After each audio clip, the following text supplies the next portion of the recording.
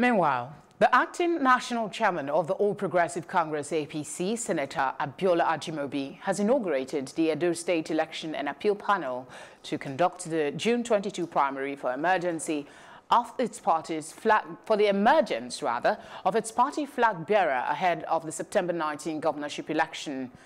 Represented by the National Vice Chairman South South, Hilliard Etta, the acting national chairman said that the inauguration was in line with the resolution of the National Working Committee, NWC, at its 45th emergency meeting in Abuja on Wednesday.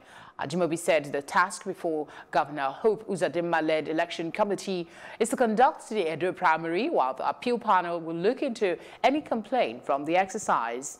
According to him, the party has commenced the process of the Edo primaries with the inauguration of the screening committee and the appeals committee of that screening.